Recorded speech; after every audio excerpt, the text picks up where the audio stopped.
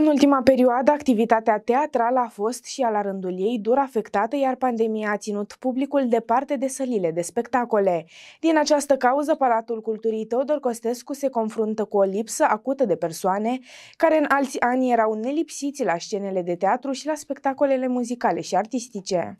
Industria spectacolelor este una despre care puțin vorbesc, dar care este la fel de afectată de pandemie ca domeniul Horeca sau al transporturilor. Au trecut luni de zile de când reflectoarele în sălile de spectacol din țară s-au stins. Deși în acest moment la Palatul Culturii Teodor Costescu sunt dispuse bilete pentru mai multe evenimente, mehedințenii sunt încă reticienți de a participa. Sigur că acest an de pandemie și de restricții sanitare a afectat și activitatea teatrală, în sensul că au fost mai puține locuri disponibile, oamenii mai reticenți și uh, cu siguranță preocupați de chestiuni mai stringente. Dar vreau să vă spun că la teatru se poate veni în absolută siguranță. Noi momentan avem puse la dispoziție 200 de bilete, asta înseamnă 30% din capacitatea sălii.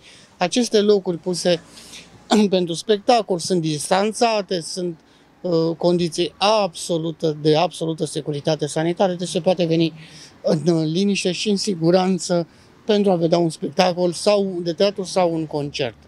Severinenii și nu numai sunt așteptați la Palatul Culturii Teodor Costescu pentru a participa la spectacolele desfășurate doar cu o treime din capacitatea sălii. În alți ani, înainte de pandemie, la Palatul Culturii Teodor Costescu, multe dintre spectacole se desfășurau cu casa închisă și era nevoie de o a doua reprezentație. Astăzi, abia dacă se mai vând o treime din biletele disponibile.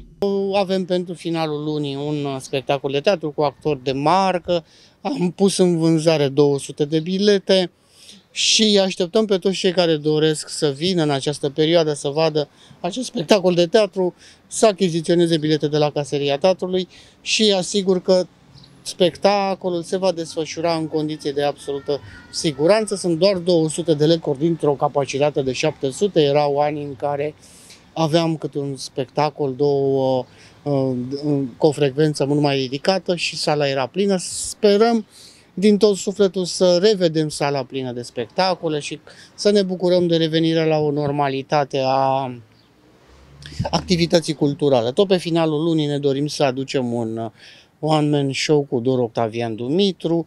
Uh, vom anunța din timp uh, când se va desfășura acest eveniment. Uh, mesajul nostru și rugămintea noastră este către publicul sevenian iubitor de teatru să vină cu încredere la teatru pentru că aici este un mediu sigur și un mediu în care vor regăsi bucuria și frumusețea unui act cultural de calitate.